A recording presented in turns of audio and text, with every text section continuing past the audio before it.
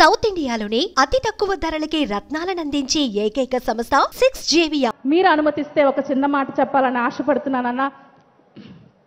అన్న నేను ఒక వాలంటీర్ని.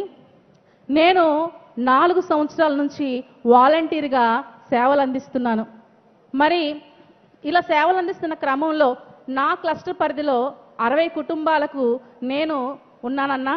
అయితే ఈ అరవై కుటుంబాలు నాకు నేను పుట్టింది పెరిగింది వివాహం జరిగింది కూడా విజయవాడ రాణిగారి తోటలోనే అన్న వాళ్ళందరూ నాకు తెలిసిన వ్యక్తులే.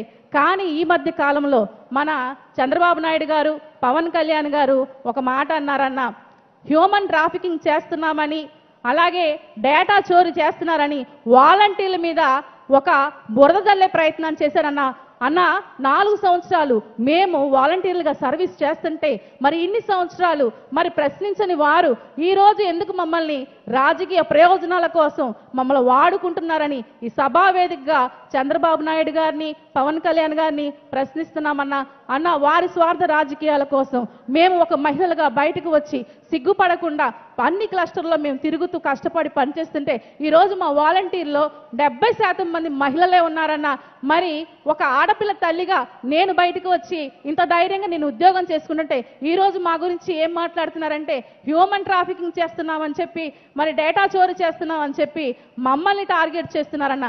కానీ అటువంటి సమయంలో కూడా మీరు మా పక్షాన ఉంటూ మా ధైర్యం జగన్ అన్న నువ్వే అన్నా మా నమ్మకం నువ్వే అని మాకు ధైర్యం నింపి మా పక్షాన నిలిచి అన్న మా పక్షాన మాట్లాడినందుకు అన్న మా వాలంటీర్లు రెండు లక్షల యాభై వేల మంది వాలంటీర్ల తరపున శిరస్సు వంచి నిజంగా పాదాభివందనం తెలియజేస్తున్నానన్నా.